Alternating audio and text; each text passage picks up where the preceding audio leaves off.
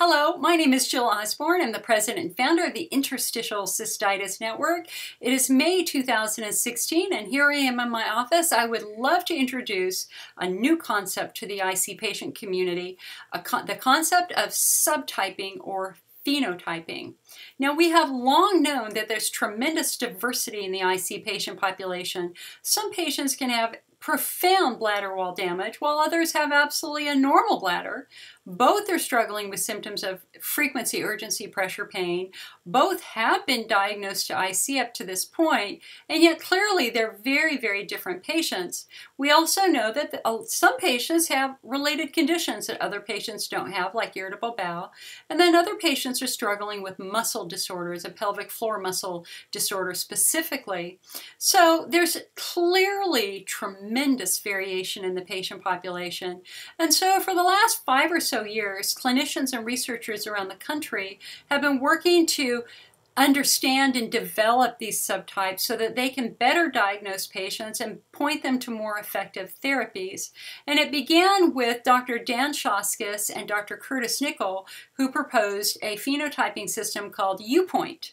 And in the U point system, they asked doctors to not just look at the bladder, bladder symptoms in the bladder wall, but to also assess for infection, related conditions, muscle dysfunction, etc., etc. And I will tell you, we in the patient community were thrilled to see that because it felt like for the first time doctors were going to start looking at us as more than just a bladder. You know, many of us, myself included, have had many other things going on, particularly the related conditions. And so to have a tool that would include that was very, very important. Um, the second group that is attempting to subtype is the MAP Research Network, the big federally funded multidisciplinary approach to the study of pelvic pain research network. This is a very robust, large research team, and their data to this point has been really exceptional. We're learning so much about IC, but they're very slow and fastidious. So up to this point, they're talking about basically two subtypes, hunner's lesions versus non-hunner's lesions. And that makes sense. And in fact, it was the European Society for the Study of IC that started doing that also. They also focus on identifying lesions versus no lesions. But last year, Dr. Christopher Payne, formerly of Stanford University, he was at the Stanford Director of Female Urology as well as their IC Research Director for 20 years. Um, he's now in private practice at Vista Urology in San Jose, California. He proposed a subtypes that I think worked perfectly. I think he nailed it, and he nailed it to the point that now, with almost every patient that I coach or work with over the phone, we talk about his subtypes. So that's what I want to introduce to you, to you today are his subtypes, and hopefully at the end of this video, you'll be able to perhaps subtype yourself, and that might help you understand why you uh, are not progressing with certain therapies. Okay, so let's go over them. Subtype number one is Hunner's lesions. This makes total sense because when we biopsy a lesion, it's filled with inflammation. A normal IC patient without lesions don't have those biopsy findings. And it was the European Society for IC that really focused on that. So everybody pretty much agrees that Hunner's lesions are very separate and distinct. Luckily, only 5% of patients, the overall patients, usually have them. Uh, they tend to be the more severe patients. These patients have trouble sleeping. They tend to be very diet limited, struggle with a lot of pain, some bleeding. Uh, interestingly, though, researchers in Belgium uh, about a year and a half ago released a study in which they found the polyoma virus in the urine of patients with Hunner's lesions. Now, this is early. This is not accepted uh, across the across the urology community as fact, but it it is very suggestive, and it will be very very interesting if other IC research, research centers also find this virus because it would explain why they keep flaring and why they don't respond to therapy. So if you have Hunner's lesions, it's very, very important that you come to our website, read the section on Hunner's lesions therapies, because Hunner's lesions generally don't respond to oral medications like Elmiron. Uh, Hunner's lesions require very, very specific therapies like fulguration, laser therapy, triamcinolone injections, Or we have a new medical device under study called Lyris or Linka that is the first treatment to heal a Hunner's lesion in two weeks. Now, that research is still pending. That doesn't work for everyone, but it is indeed a very, very promising breakthrough for the treatment of Hunner's lesions. Okay, subtype number one. Subtype number two is bladder wall injury. So these are the patients whose symptoms began after some sort of direct bladder trauma. UTI, chemotherapy, a decade of drinking diet soda. You know, the bladder, like any other part of the body, can be hurt. And unfortunately, when it's hurt, that allows urine and remember, urine is composed of toxins. Urine is body waste, so it's got ammonia and urea in it. When these substances get into the bladder wall, they create tremendous irritation, especially of nerves, and that is what drives the symptoms of frequency urgency. The way we know that the bladder is behind those symptoms is when pain occurs. If you have pain as the bladder fills with urine that is relieved with urination, you feel better after you pee, that generally points to the bladder wall as a source of your pain and discomfort. And clearly, if you have this, diet modification is critical, just like it is critical for patients who have Hunner's lesions. If you go to our website and look at the six-step treatment protocol, that's really built for people with bladder wall-driven symptoms, all right? Subtype number three, pelvic floor injury. So these are the patients whose symptoms began after some sort of direct pelvic floor trauma. Having a baby, a car accident, a fall, a rape, a decade of uh, being an athlete, riding bicycles for a long period of time. You know, many patients simply don't believe that muscles can cause bladder pain or bladder symptoms, but they can because the pelvic floor gently holds the bladder and other pelvic organs in place. You know, the pelvic floor is like a woven basket of muscles. You've got muscles that go from the left to the right, from the front to the back, and low to high. And if some of those are tight, what do they do? They start squeezing blood vessels and nerves. And when you deprive the bladder of, of um, blood flow, you're reducing the ability of the bladder wall to function normally. We kind of end up in a chicken versus the egg scenario, though. You know, which comes first, the chicken for the egg? And for us, it's which comes first, the bladder wall or the pelvic floor? Um, for many patients, it starts with a bladder injury, and then because the bladder is hurting, the body tries to protect it through a guarding reflex, and that guarding reflex means that it's tightening muscles.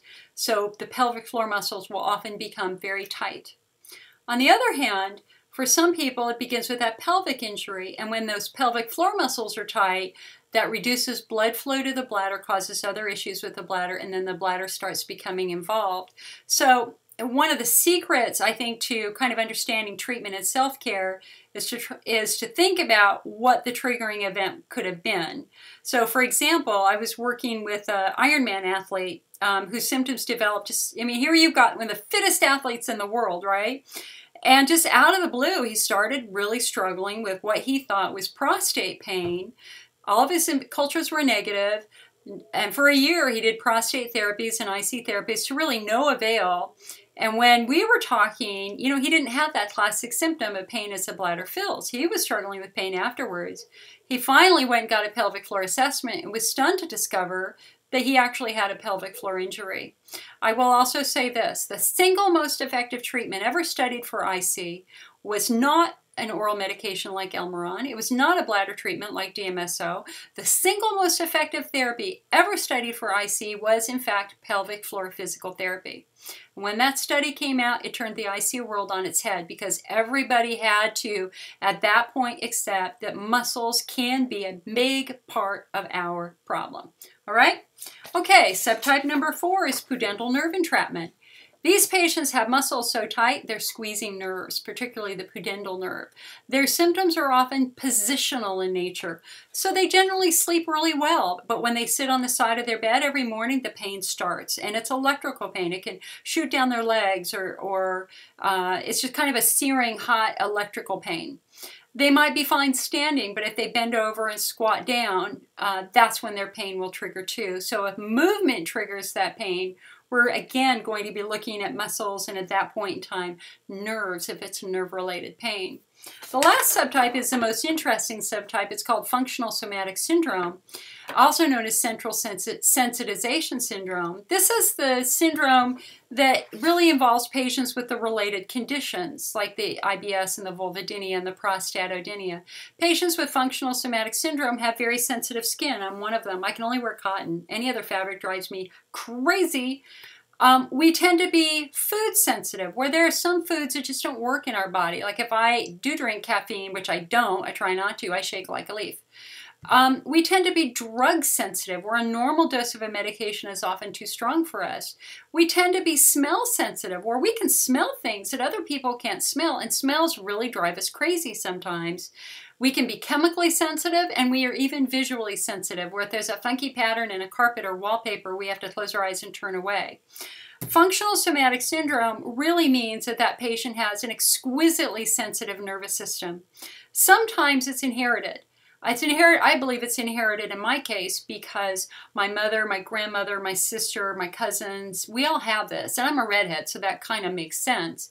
But it can also happen after a major injury. I mean, for people who break a leg, you know that after the bone heals, that area often remains sensitive because that's what traumatized nerves do. They, they become more sensitive, they become easier to turn on.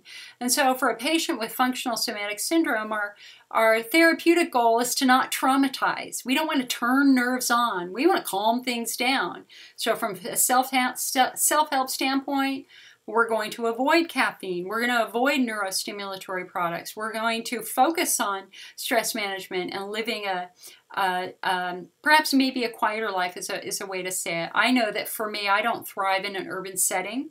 It's just too much stimulation. I'm much more comfortable in the country. Um, so, and then also, I, I, just have to say that um, Doctors tend to approach patients with functional somatic syndrome with great caution. I interviewed Dr. Ken Peters last summer about this, and I said, What do you do when you have a patient who's walking in with, with this exquisitely sensitive nervous system? And he, he basically said, I back away and I'm very, very careful. You know, we don't want to do aggressive testing. We don't want to traumatize that patient in any major degree and that's pretty much what he said we want to approach them calmly and thoughtfully with a with a uh, a perspective on, on soothing rather than irritating. Alrighty, so there you've got the five potential subtypes proposed by Chris Payne. Hunner's lesions, bladder wall driven, pelvic floor driven, pudendal neuralgia, and functional somatic syndrome.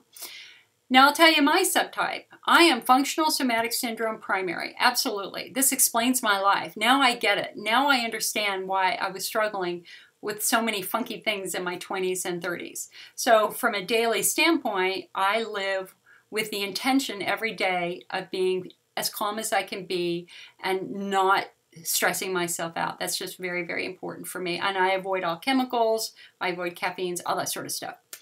I am also pelvic floor primary because I have a torn muscle in my pelvis. And so I have to work on that every single day. In fact, it's spasming right now. I have to prioritize and get on my hands and knees and work on my muscles every single day to keep that under control. And then I'm bladder wall secondary. So what that means is I don't have bladder symptoms every day, but if one or the other gets tweaked out, my bladder can also become tweaked out. So I'm very careful about not traumatizing my bladder further. I do follow the IC diet. I, I can cheat a little bit now, but I don't cheat a lot because I know that the nerves in my bladder are sensitive and they will eventually fight back and I will feel it with a flare. So that's my subtype. Do you know what your subtype is? If you're looking for more information, please come visit our website, the IC Network. That's www.ic-network.com. If you go to our interstitial cystitis section, we have a free download area, and you can download the article that we wrote on this last summer to learn more about Dr. Payne's research and theories. I really truly think that this is the future for IC, and I hope that you will share those articles and that article with your care provider because it really could explain why some patients are not responding. They might not be being treated for the right problem. Like if it's your muscles, Elmiron isn't going to work. If it's your bladder wall, physical therapy might not be appropriate. We have to target the treatment appropriately. I wish you well. I hope that you're having a great day. And as always, you can email me directly through our website, www.ic-network.com. Thank you.